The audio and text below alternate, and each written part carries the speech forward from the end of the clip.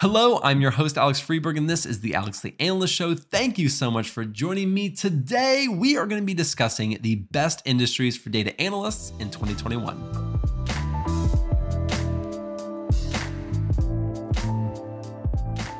Now, honestly, just about every single industry was impacted last year, and that is definitely going to carry into 2021. And I think it is very smart to look at this before you start looking at the job market so that you know what kind of companies you should be applying for, or at least what industries are really solid and that you have a better chance of landing a job in.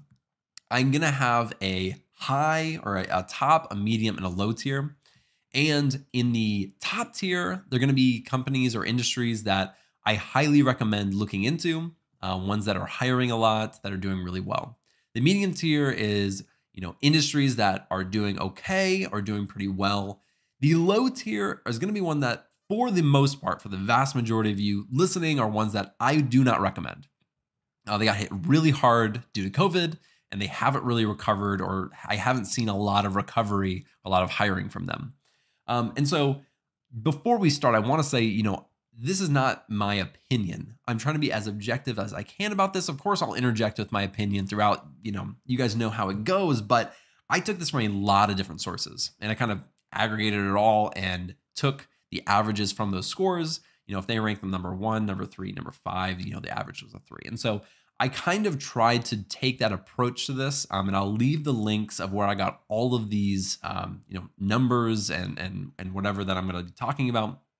I'll leave those in the description if you want to go check those out individually. There's probably like six or seven of them that I pulled it from, uh, but I want to, you know, I want you to know that this is not um, my opinion, although, you know, I do have a lot of opinions on it. Um, before we actually really get into it, I want to say that, you know, if you have watched a lot of my Alex Analyst shows before, and you see at the end, I always talk about Patreon, I now have a new way that you can support the channel, and that is through buying some of my merch. Now, I'm I call it merch because that's what everyone calls it, but it's honestly it's just a shop to you know if you want to support it, if you want to buy something cool, if you like coffee mugs like I do, because I drink coffee um, more than I used to, you can go and buy stuff like that. Uh, this is, trust me, I'm an analyst, and this is a trust me, I'm an analyst shirt.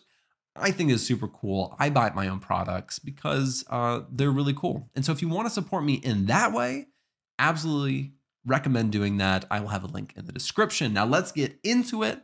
Enough self promotion for the day. Uh, well, maybe later. Uh, let's look at the top tier first. The the golden goose, the the industries that everyone is going to be looking toward because these ones are really thriving during this time. Uh, and it's probably not going to shock you which ones uh, I talk about. So the top industries that I have listed, um, and again, before I get started, this is not my opinion, although my industry is in this top list. Uh, I it is healthcare. That's mine. We also have finance and banking, and we have social media and big tech. Now, I don't think it takes too big of an imagination to know why these are really thriving uh, during this time. Healthcare is thriving because um, data is exploding at an unprecedented rate. Uh, and it's just, it's insane. And the amount of data that is needed to drive everything that's going on in the country right now is is just insane. And so and so teams that used to be one person or two people are now five, six, or seven because they just have so many projects, so much um, data to work through. They need to hire more people. There's a lot of teams hiring right now for data analysts, um, and so that one I think is is pretty obvious finance and banking, um, you know, I got to be honest, I don't know much about finance and banking. So I had to read up quite a bit on that during this time. Is doing really well. And I don't think it's ever done terrible, uh, except maybe like 2008, 2009 timeframe, um, at least since I've been born. Uh, is doing really well during this time because everybody is needing something from the bank loans, uh, mortgages, anything. And so, of course, it's just doing really well. Uh, there wasn't too much else on that topic that I got from it. It's just banking as usual. Money is important. People value it. It's going to do well. Um, the next one, and this one is to me the most interesting, would probably be social media and big tech. Uh, social media has become just insanely huge over the past like 10 years. But last year in particular, I mean, the numbers just skyrocketed because everyone is stuck at home. Uh, I'm currently stuck at home. And I got to be honest, I'm on social media more than probably I ever have been with YouTube and LinkedIn and Facebook. Um, not really Twitter, but you know, all these things. I'm on it all the time. And and and so I know that other people are as well, and the numbers support that. People are going on there and it's just it's insane.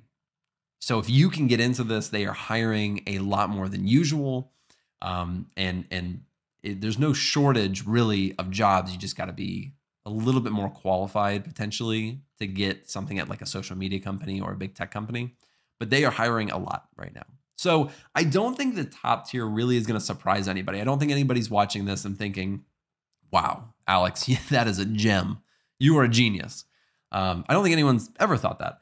And so you're definitely not going to think about that. Uh, let's move on to the medium tier. And I will say that this was just a weird one for me.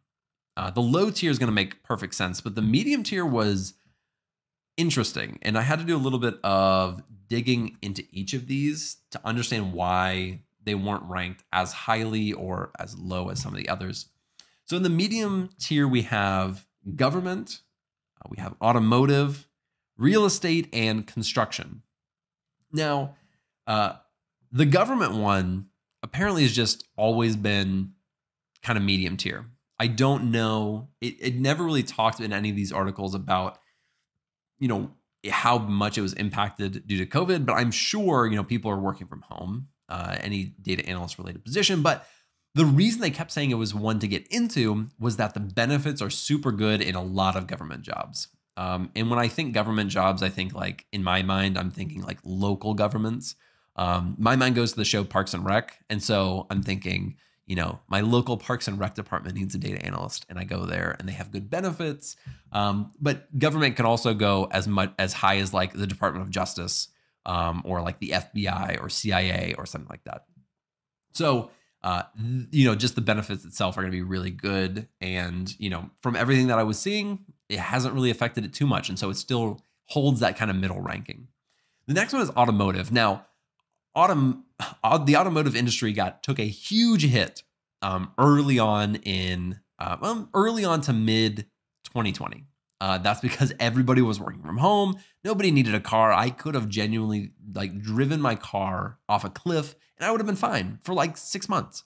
Um, I had all my groceries delivered. I didn't need to go out. I didn't need to do anything. And so people um, stopped buying cars. They sold their cars. I mean, there was a huge dive uh, in the automotive industry. And so it doesn't surprise me that that you know this one is the medium tier. I'm glad that it's back there because before they'd almost basically stopped hiring and were firing people for like a three four month span. Things are starting to go up um, as parts of the country are reopening, and you know the lockdowns are a lot less frequent, um, even though things are still kind of bad.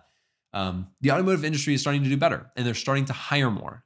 So they're on that upward track of you can kind of ride that wave. Um, you know, look at Toyota, look at Ford, um, some of these larger automotive industry places or companies.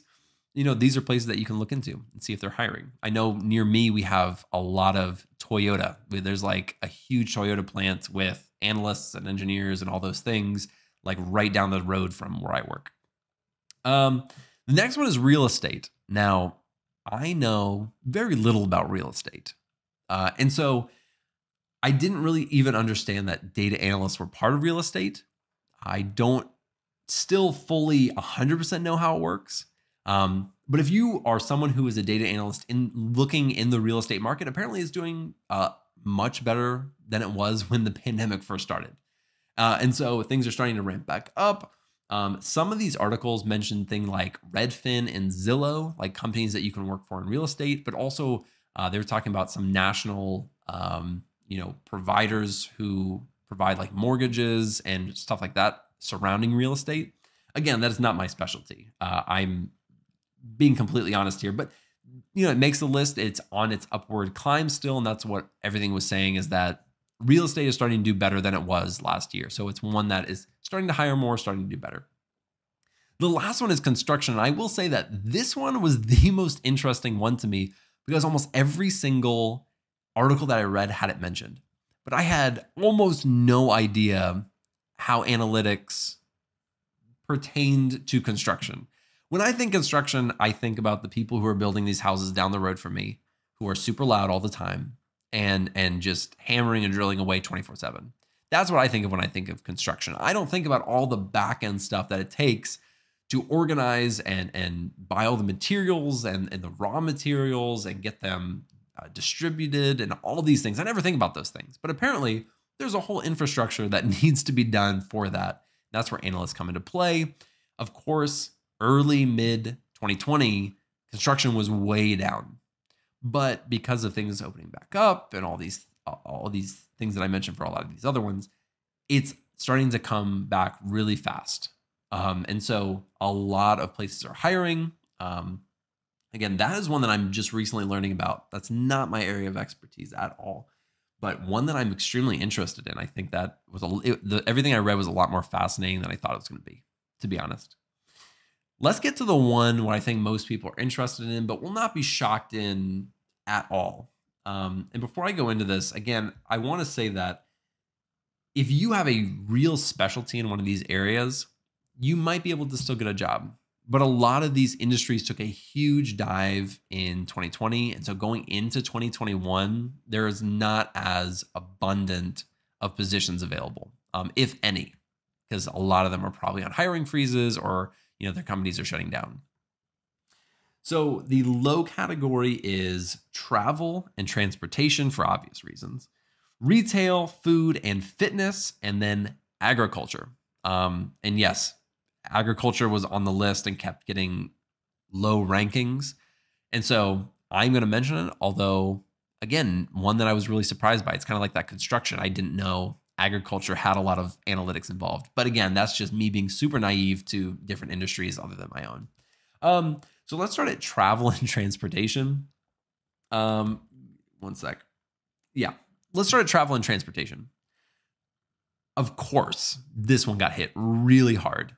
So if you worked for any type of airline, any type of uh, bus, um, or, or shipping, or really any of those transportation travel industries, they got hit really hard. Um, another one kind of related to that is things like Airbnb. Uh, that's that's that traveling aspect. Please, things like that got hit really, really hard, uh, and they have not fully recovered. Although they're starting to do a little bit better. I mean, we had over in the US, we had like a million people fly in in the US, which I don't advise, but people are still doing it. Uh, and so I think that one is not really surprising, to be honest. I don't think that shocks anyone. Um, the next one is retail, food, and fitness. Now, this one was in is in the low, uh, but was kind of on the brink of being medium because a lot of these places are starting to kind of figure things out and are starting to hire more because they're starting to make more money. Um, the food one and retails specifically, uh, for food, you know, a lot of companies are now doing delivery very well. They have a lot of these online online company or online um, websites set up. They're working through DoorDash and all these other places. And so they kind of have everything set up now. One second, Max was coming over. I wasn't sure if he wanted to be part of the show or not. Oh, buddy, you're gonna have to wait, buddy. He wants to go outside, but he can wait like 10 more minutes. He's totally fine. I let him out like 30 minutes ago. I am a good owner, I promise you. Um, so food is starting to do better. So things like, I mean, think of like national chains like Pizza Hut. I mean, you know, just that's just one small example of the thousands of chains out there and small restaurants out there that need analysts to analyze all this online data for them. And so, you know, think about that when you think uh, food and retail and fitness, I mean, they're just not in a good place. And so, you know, they are starting to figure things out. They're starting to get permission to open back up, like fitness related things. Um, retail is starting to open back up again, really slowly. Food is figuring things out. A lot of online data, but you know, there a lot of these places are just getting on their feet again. So I wouldn't be looking at those as my main options. So if you really have a passion for Pizza Hut and you're like, that's my dream job, go for it. But expect that there's probably going to be less jobs available than there used to be. The last one is agriculture. Again, a super interesting one. Um, and my first thought was people are buying groceries more now than ever. Uh, you know, everybody's at home, they need groceries. You know, how is that being affected? Um, everything that I was reading, it was talking about supply chains, how supply chains had been hit. Um, and because of that, there were a lot of layoffs in the agricultural field again, not my area of expertise, but super interesting, something that I never even contemplate or think about when it comes to that industry. I'm just like, they grow food, they transport food, we buy the food. So, you know, another one to consider. With all that being said, you know, with the top, the medium, the low tier, I, if you haven't already chosen an industry to go into, if you're fresh out of college and you're, you know, you're you're saying I want to go into healthcare, I think that is fantastic. There, there is a lot of jobs out there, um, but you know, with these top ranked ones, you know, that domain knowledge helps. Um, and so, if you already have a background in healthcare, if you already know something about healthcare, and you try to get into it, you're gonna have a, a good chance, um, to be honest. But if you're trying to go into finance and banking, and you have, you know, a completely unrelated degree, no experience, I mean, it's it's gonna be tough. Like any other season of life or season of job hunting, it's it's going to be tough. Um, so don't just expect because it's on the top tier. It's an easy job it, to get. It's still going to take work. You still have to have the right skill sets and credentials and all these and background and domain knowledge. So there is that. Um, I, I really do think going into 2021, it's important to talk about this subject because, you know, a lot of people are in the market right now. A lot of people are in the job hunt. And you don't want to be targeting industries that were really hard hit. In my opinion, you know, I don't you can do whatever you want. In my opinion, you should you shouldn't be doing that. You should really be trying to um, target the ones that are on their upward trajectory or doing really well. So, an example for one like big tech is like Amazon, Google, all these large companies. Um, you know, you may not have the what I would consider like for myself, I probably wouldn't be able to get in there because you know you need like a good school, good education, uh, potentially. But these are ones that are hiring at a larger rate than ever before. And so, well, maybe not ever before, you know, but during this time, a year ago till now, they're doing really, really well. So it's one to look into if you haven't already. Um, we're going to switch things up in just a second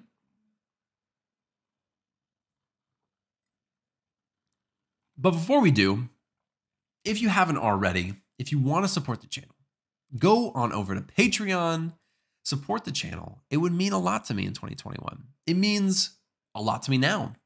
And for all the people who uh, support me on there, you guys are amazing and you guys are my favorite people. Let's say there's 500 people watching. I have 20 people on Patreon. You guys are my favorite 20. The other 480 uh, mean less to me. That is just the reality of it. I don't feel bad about saying that. Um, but if you want to be part of that group of people who supports the channel, uh, I would appreciate that. That would mean a lot to me. Thank you. Let's move on to one of my favorite times of the show. That is the question of the week. Super excited about this one. I think this one's really relevant um, to today's topic. Give me one second. Got something in my eye. Uh, really relevant to today's topic, kind of in a way. You'll see. It's from Michael Robinson, and he says, What is the odds of me getting work slash contracts without a degree? Just considering heading down this path, am coming from hospitality, was self employed up until the outbreak, and business minded. So my background won't do me any. I got cut off. I'm guessing any like favors or any good. I don't know why I just didn't capture that correctly, apparently.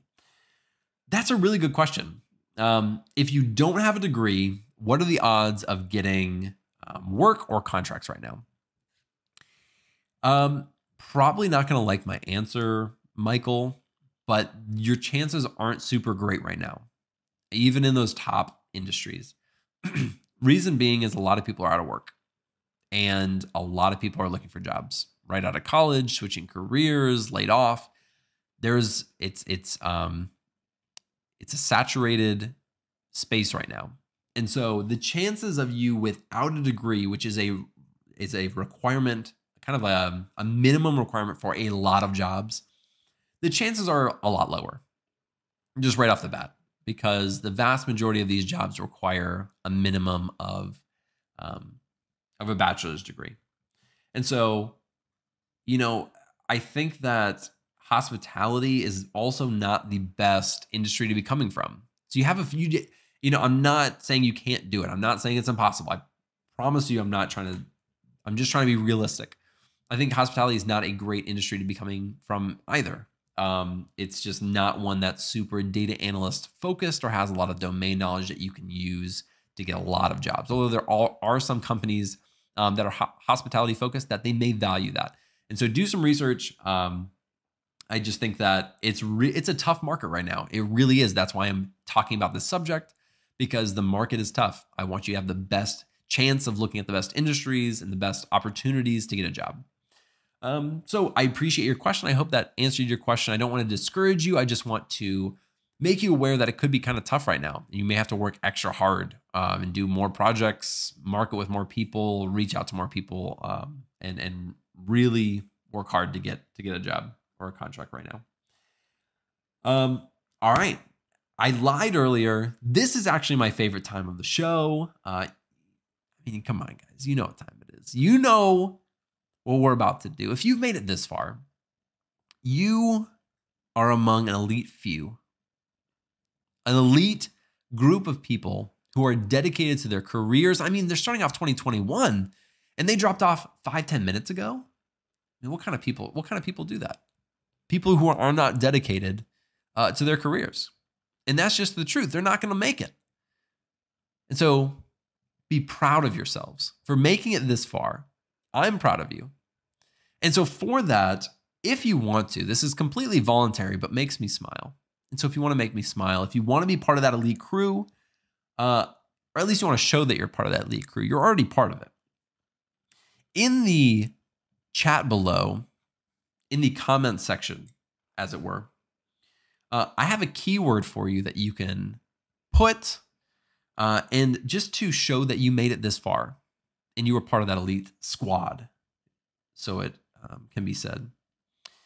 Of course, we're starting it off in 2021, vegetable based. I I can't um, I can't turn my back on my vegetables. I can't do it. The vegetable of the week for the first week of 2021 is onions. And I think it's very appropriate. Uh, I think onions have been used for a lot of metaphors. And if it, if it can be used in Shrek, I think I am intelligent enough to use it as well. So I will try. Um, but probably not as effectively as Shrek. That they did a pretty great, great job. Uh, 2021 is going to be the onion of life for you, for me, for this country, whatever country you are in. You know, it's peeling back those layers of humanity, survival. Uh, can we figure out who we are on the inside and get past all those layers of uh, of figuring out what to do, who we are, and what we're supposed to be? I believe that we can. And sometimes you need a helping hand to peel back that onion layer. Uh, not my best work. Honestly, not good at all, but um, you know, I tried. I did my best. It was my first bad analogy or metaphor, whatever you want to call it, uh, of 2021. So there you go. Hitting it off. Started off really strong with this one. Um, I don't have much else to say. I will say, let me see, let me do a time check. We're at the end, so I mean, you got, you know, you know, I'm just chilling now. Um, yeah, I'm, I'm honestly, I'm really excited about 2021. I have a lot of goals, a lot of goals, a lot of plans. Um, I hope you do too. I, I recommend, you know, I really recommend having some personal as well as, you know, some career goals. I have a lot of personal goals, a lot of career goals. Um, and I'm constantly revising them. You would not believe how many times I revised it last year. Um, as this channel continued to pick up last year, my goals just kept changing. Like every single month, it was a different goal. I was like, I was like, wow, you know, it's doing a little better. Maybe I need to do this now. Or in my career, I was like, well, you know, I'm doing really well at this. This should be a goal of mine. And so, um, closing out the show, I just want to encourage you or make you think about, um, you know, what kind of goals you're going to be setting for 2021. I don't like the word resolutions. I think that um, has a really negative connotation. And so I just use goals. I say those are my 2021 goals. They're not my resolutions. Um, I've always thought that resolutions were that I looked up like the definition one time and it said that resolutions were like vague statements, um, whereas goals are like specific smart goals. You know what I mean? So I like to set goals instead of setting resolutions. I know you probably don't care, but um, 99% has dropped off, and it's just me talking now. So I thought I'd share that little tidbit of information. Um, if you have a, if you guys have any suggestions for videos, I already I have plenty planned. Don't worry. Uh, it, you know, you don't have to worry about me. But if you want to um, be part of the channel and and provide a topic, and if I choose it, maybe I'll give you something. I don't know. That'd be cool. Um, or do some type of you know giveaway, or I don't I don't know what I'm I'm just rambling. If you want to do that, give me a suggestion below. I will genuinely look at it and consider it if it's good. If it's not, I'll comment back to you and be like, that was not a good suggestion. So take it or leave it.